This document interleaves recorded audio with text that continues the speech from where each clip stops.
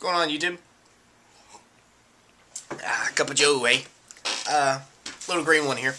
I'm going to show you today my uh, water filtration system that I made for backpacking. Total cost for this system was $10. Everything was bought at Walmart. This is it right here. What I did, I went to Walmart and bought the uh, Pur water filtration system. Uh, it goes into those big plastic jugs, you know, for your home, and uh, it just screws right in. So uh, it says it's a two-stage filter. Um, there you can see a picture of the jug supposed to go in. Two-stage, I guess what it means is there's a, a little filter at the top, uh, kind of synthetic material filter the main debris, and then there's the activated carbon, and there's also a uh, a secondary filter down there at the bottom, around the around the bottom.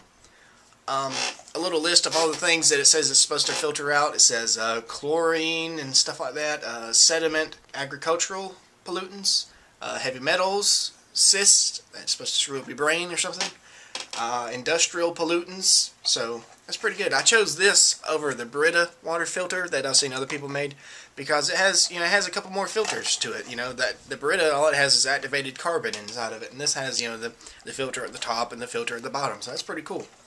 That there was $8.35 after taxes, so that's pretty good cheap buy, right?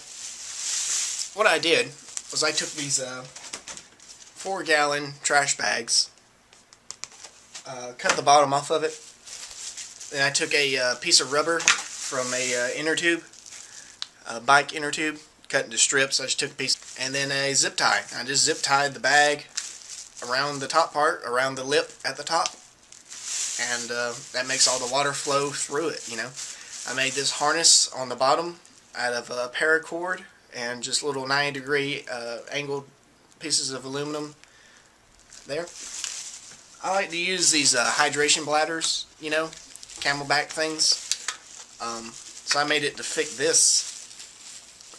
What you do is you just hook it right in there. And it fits straight in there.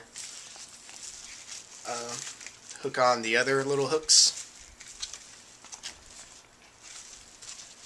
Like that. And you're good to go. It filters straight down into it. Um, the filter, it doesn't filter very fast. It fills up this 6 ounce cup in about 6 minutes.